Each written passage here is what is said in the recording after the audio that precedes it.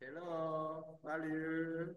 Bienvenue à cette présentation. Welcome to this presentation. Uh, I'm going to share my screen right away before we begin. So let me share my screen. Je veux partager mon écran tout de suite et nous allons commencer. Euh, je vais mettre ça en plein écran. I'm going to put it on full screen.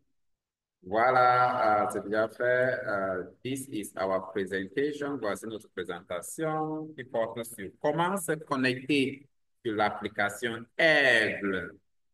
Donc, c'est un acronyme. L'application AIGLES et imprimer son bulletin de solde. So, uh, we are going to focus on how to sign in on the AIGLES application. AIGLES here is an acronym, the French acronym precisely. How to sign in on the AIGLES application and print your payslip. So uh, before I continue, let me briefly introduce myself. My name is Zih James Kum. I'm a bilingual teacher and a professional translator. Je m'appelle Zih James Kum, professeur de lycée d'enseignement secondaire général, par ailleurs traducteur professionnel. Before uh, getting to the website, you have to type the website here. So you type this website on any browser of your choice, could be Chrome, could be Google, or any other browser. Vous devez au préalable saisir ce euh, site web, ou ce, ce, ce, ce site web correctement. Et vous allez vous retrouver tout de suite sur cette page. You find yourself on this particular page. So when you find yourself on this page, means you are on the right track. So what should you do next? What's the next step? You need to fill in this login. So the login here is the old format of your uh, service number. Donc ici, l'identifiant, c'est le nouveau format de, euh, du matricule, nouveau format du matricule. Donc si c'est euh, si le matricule commençait par, euh, par des chiffres et à la fin on avait une lettre comme ici. Donc il faut d'abord mettre zéro avant l'ancien format du matricule et on met maintenant la lettre sans tiret, comme sans tiret, comme ici. Maintenant, si euh, le matricule commençait par une lettre, le nouveau format, c'est euh, on enlève la lettre et on met à la fin.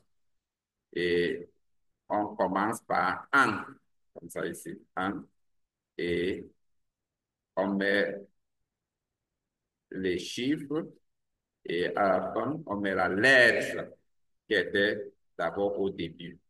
Donc, c'est ça euh, qu'il faut écrire ici. Donc, on va normalement écrire ça ici. Ensuite, il faut mettre le mot de passe. Et le mot de passe ici, c'est euh, l'ancien format, l'ancien format du matricule, comme ici. Donc, si, la si le matricule se terminait par la lettre A, par exemple, il faut d'abord, saisir ça exactement comme c'était, avec le tiret, on va se tirer ici. Ensuite, il faut écrire son, euh, son année de naissance. Faut écrire l'année de naissance juste après euh, l'ancien format du matricule. So, you need the password you need when you, uh, at this level is the old format of your service number. So the service number started, for example, with a letter, then you maintain the letter. If you ended with a letter, then you maintain it that way. But immediately after that, at your date of your year of birth, precisely, your year of birth, without any space, at your year of birth. So that is what we see at this level. So take notes. Immediately after that, take note of these uh, passwords. Take note of this uh, login uh, service number uh, before moving to the next step. When you finish, you can check here to see whether you have written the correct passwords by clicking here.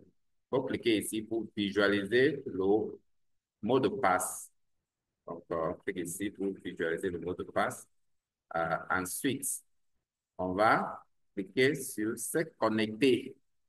You sign in here, and when you click here, this is, you are going to find yourself on a new page like this one. Euh, une fois clique sur se connecter, on se trouve sur une nouvelle page il porte sur le changement du mot de passe. Et pour changer le mot de passe, il faut d'abord entrer l'ancien mot de passe. Before changing your password, you have to enter the old password. And the old password is the one that you just entered in the previous stage. L'ancien euh, mot de passe dans ce, euh, dans ce contexte, c'est le mot de passe qu'on a utilisé dans l'étape précédente. Et après avoir euh, mis le mot de passe, on peut maintenant, après avoir euh, mis l'ancien mot de passe, on peut maintenant choisir un nouveau mot de passe. Pour choisir un nouveau mot de passe, il faut mélanger les lettres euh, ou les lettres majuscules, minuscules, euh, un chiffre, comme ici, un chiffre, on peut aussi mettre un signe de ponctuation comme la virgule. Donc ici, c'est passe, car, passe, virgule et car. Voici le mot de passe que j'ai euh, créé, par exemple. Donc, vous pouvez créer un mot de passe comme ça. You can create a password that is similar to this one with, by mixing capital letters, small letters, uh, uh, punctuation marks, for example, uh, uh, can put a comma, for example, or you can also add a figure, add any figure of your choice to make your password strong enough. So that's that password, that new password, you're going to put it here. This is where the new password will be. And you simply repeat that same password here. When you repeat the password, you can click here to visualize the password. Pour cliquer ici pour visualiser le mot de passe pour confirmer que c'est bien saisi. Euh, après, nous allons euh, compléter les informations. Ici, vérification d'identité. Met son nom et prénom. On met euh, la date d'entrée à la fonction publique. Et la date d'entrée à la fonction publique ici est précisée sur l'acte d'intégration. So you have to type your name, uh, full name, uh, the dates that figures, that is uh, the date that is written on your uh, on your integration decision. Check your integration decision and write the exact date that is written there and complete with the other information. When you do that, you click on save. Sauvegarder. Donc, après avoir des informations, on va cliquer sur sauvegarder. Click on save. And when you click on save, this is what you see. You come back to the normal, uh, the normal page, the normal page of Aigle. So that's the normal page of Aigle here. That's the welcome page of Aigle. Une fois qu'on a cliqué sur sauvegarder, on se retrouve naturellement ici. Donc, ça, c'est pour entrer à nouveau l'identifiant et le mot de passe qu'on a créé. Donc, l'identifiant reste le même. C'est toujours le nouveau format du matricule. Nouveau format matricule comme ça. Donc, pour ceux qui avaient une lettre à la fin de la matricule. La lettre reste inchangée et on ajoute zéro, bien évidemment, au début. Et pour ceux qui avaient une lettre au début, on enlève la lettre et on met à la fin, sans le, retirer, on ajoute un devant. Comme ça, Eh, le nouveau format du matricule. C'est ça qu'on va écrire ici. Euh, ensuite, on va mettre le mot de passe, donc euh, le mot de passe qu'on avait déjà. C'est ça qu'on va écrire ici. On clique ici pour visualiser. So you put the new password until after that. And you can click here to see if the password is correctly typed.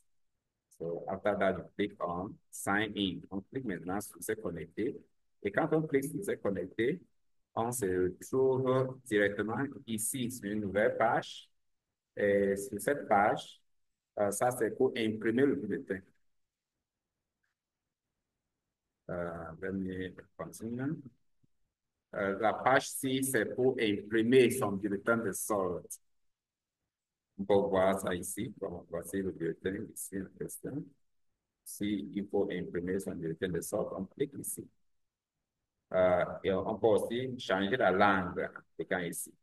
Ici, c'est le français. Si je veux ça en anglais, je peux cliquer pour changer. I can as well change the language uh, by clicking here. When I click here, I'm going to have uh, English language. So I'm going to change to English language by clicking here. Let me try it. Let's see what, what will appear next page. So when I click here, of course, this is it. So it is now in English. Now have the pay slip here and have the information in English. So I can change it back to French by clicking here. Also, I can click here, change it back to French. Je peux cliquer également sur English euh, pour avoir la version française. Donc, si je fais euh, euh, maintenant, mon objectif, c'est d'imprimer le bulletin de solde. Donc, je vais cliquer ici, naturellement, pour imprimer le bulletin de sorte. Donc, je vais imprimer le bulletin de sorte en cliquant ici. Si je clique ici, euh, je me retrouve ici directement avec euh, ces informations. Voici une nouvelle page. Sur cette page, il y a euh, impression. Il y a l'année, il y a le mois. Je dois choisir l'année ici et le mois pour euh, le bulletin de sort que j'aimerais imprimer. Si, par exemple, je veux imprimer un bulletin de sort mois de janvier, je clique sur 2025 et je choisis janvier en ici. Ensuite, je dois euh, normalement cliquer sur le déroulant ici pour choisir le type de bulletin de solde que j'aimerais imprimer. Euh, donc, je vais imprimer un bulletin mensuel. Je vais cliquer ici pour imprimer le bulletin mensuel. D'abord ici. So I have to click on this drop-down menu and choose month, monthly, monthly payslip after previously choosing the year and the month. In this case, so you see the year, you see the month. So when I click on the drop-down menu and choose monthly payslip, I'm going to have uh, my payslip without any problem. Uh, uh, il ne faut pas surtout, il faut, il ne faut pas surtout payer pour les bulletins de solde. Uh, arrêter de payer 1000 francs pour les bulletins de solde. Vous pouvez les uh, automatiquement. You can generate your payslip automatically by following the steps as indicated, rather than paying 1,000 francs for it. So thank you very much for following up. If you want, uh, have any questions, for example, or you want to have a type of certificate to teach English online, for example, um, you have uh, translation services and translation service you want to have and available.